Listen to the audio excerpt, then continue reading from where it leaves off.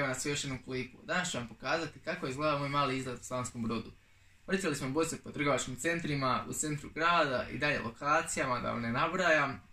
Već vidjet ćete sve u nastavku videa. Tako da ako ste niste pretplatili, pretplatite se, like, komentar, ako vas što za pitajte i uživajte.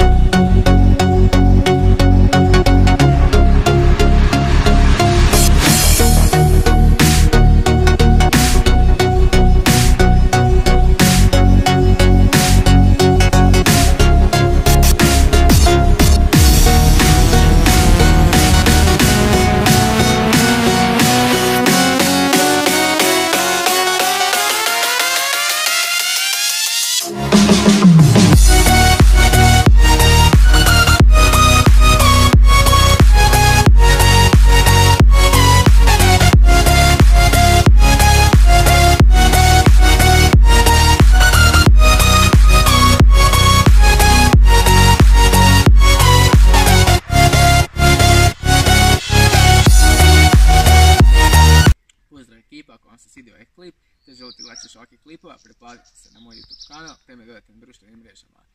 Vidimo se u sljedećem klipu, hvala vam lijepa. Živjeli.